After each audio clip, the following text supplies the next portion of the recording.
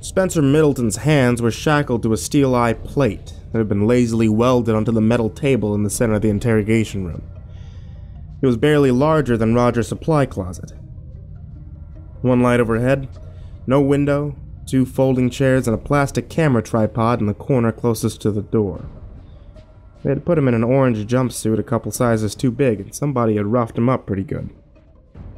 He had a swollen shiner on his left eye that blended into the purple bruises covering most of his face. When he saw me, he grinned. Hey, you don't look like a lawyer. You sure as hell ain't a cop. Let me guess. You're the newest one they sent to kill me. It took a second to gain a sense of the man that I was about to talk to. The clock was ticking down 20 minutes, but those first brief moments set the trajectory and could make all the difference. Here I was, just a few feet away from the asshole that had probably killed my niece.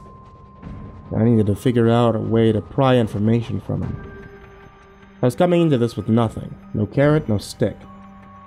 How do I trip him up? Maybe he'll give me just what I want out of the goodness of his heart. I'd done a little research on the drive over. Spencer was a local who had disappeared a while back and joined the army.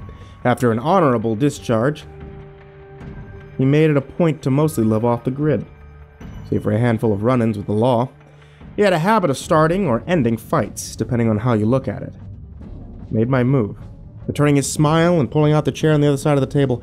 From here, I could see that the man had a nasty looking scar straight across his throat. I sat and I faced him, waiting to see if he had anything else to offer. He didn't. So I went first. Who's trying to kill you, Spencer? He laughed softly and said, Hey, don't I know you? I doubt it. Yeah, I do. You went to my high school, right? You're Donnie's brother. I maintained my poker face best I could, bearing the sting of hearing the asshole mention my brother's name. It Wasn't time yet to show my hand. At least I had him talking. Hey, you said somebody's out to kill you. Why would someone want you dead? You do something? You know, when I get out of here, I'm gonna cut your face open. From here. From across the table, he pointed at the spot just over my right eye. To here. He dragged the point of his finger slowly down towards my neck. Took a long breath. But I'm not a cop or a lawyer. Just an interested third party. Yeah, sure. There's a lot of those in this town, aren't there? What do you mean by that? Spencer relaxed in his chair and leaned his head back to stare at the ceiling. Man, come on. Just ask me whatever it is you came to ask, alright? Starting to think you might not know anything. Maybe the sheriff oversold you as some kind of badass when really you're just a guy. Guy that was in the wrong place and too dumb not to look guilty. Spencer looked me in the eye. He laughed a short staccato kind of laugh. You're gonna use pride and ego down on me, Regan? This ain't amateur hour. I spent years on the other side of this.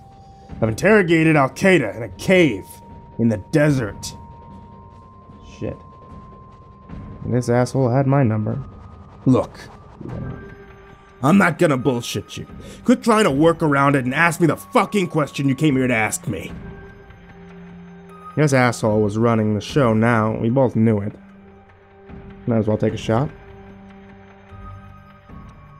You know what happened to my niece? Vanessa?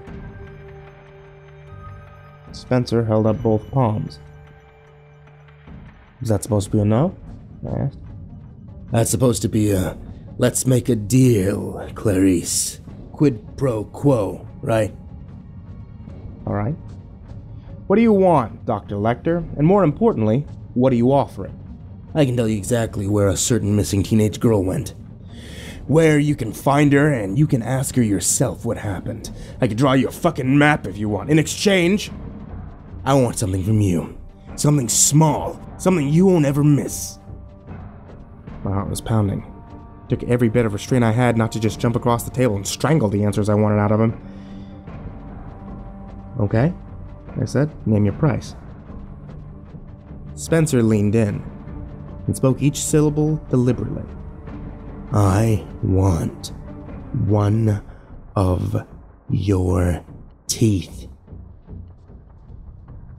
He smiled and laughed again.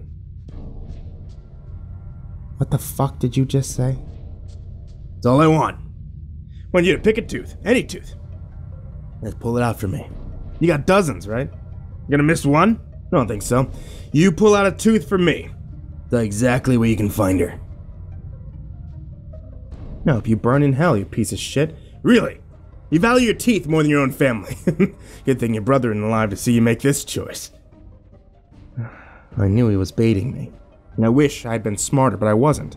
I jumped out of my chair so fast it launched across the room and swung a wild right hook that would have broken bone if it had landed, but he dodged it by an inch caught me by the fist and used my follow through to pull me across the table. My face hit the metal, and before I knew it, he had hooked his arm under my chin. In a single motion, he twisted me onto my back and locked his arm against my windpipe, squeezing tighter and tighter until I started to black out. I tried to scream, but there was no way air was coming in or going out, and the world went black. I knew I was done for. That son of a bitch was faster and stronger than I could have expected, and I'm glad I'm more lucky than careless. I didn't hear the deputies come in, but if they had waited a few more seconds to pull me away, well, I might not be here right now.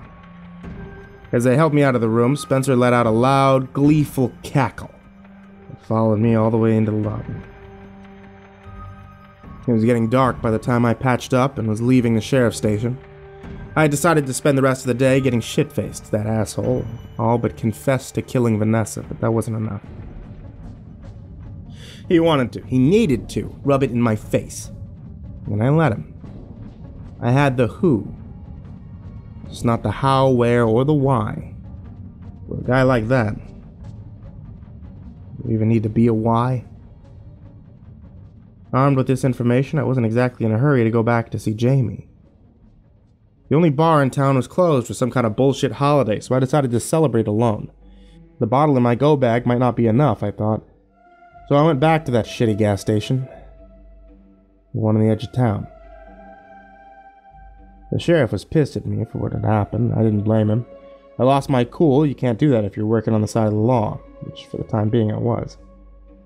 Couldn't help but wonder how hard it would be to get away with killing Spencer while he was in custody.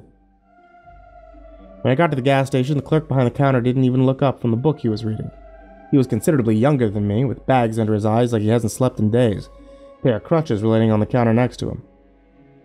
Bought a bottle of whiskey and a pack of smokes. As he rung them up, I asked, Hey, you know a good hotel near here?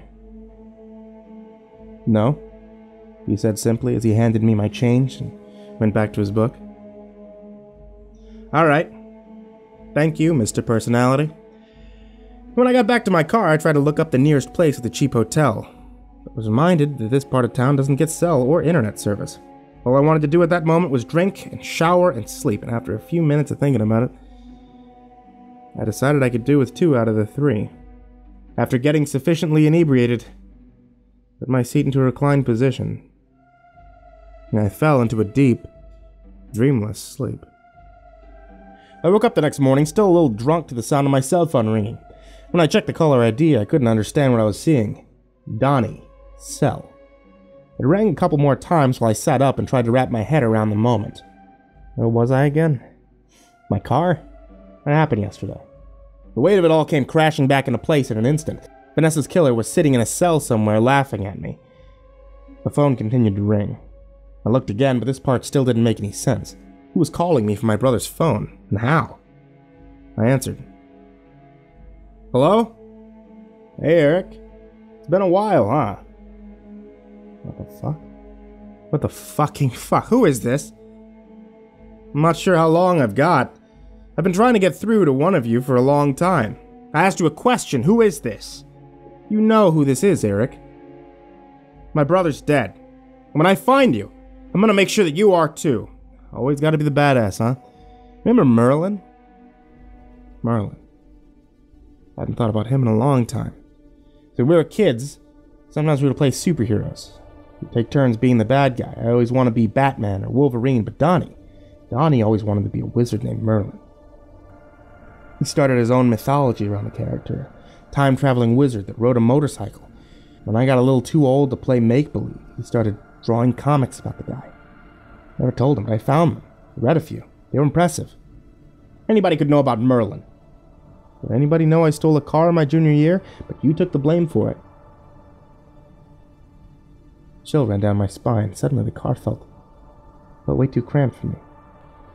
I opened up the door, I tried to step out, but a dizzy spell almost put me on my ass. I held onto the roof of the vehicle until it passed, and I put the phone back to my ear. Who is this? Told you. It's me. Tell me the truth. You're looking for Vanessa?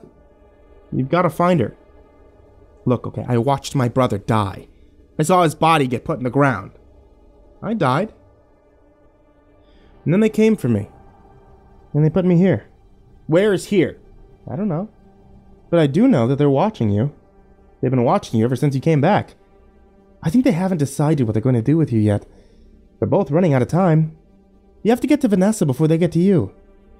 No, and tell my kids I love them.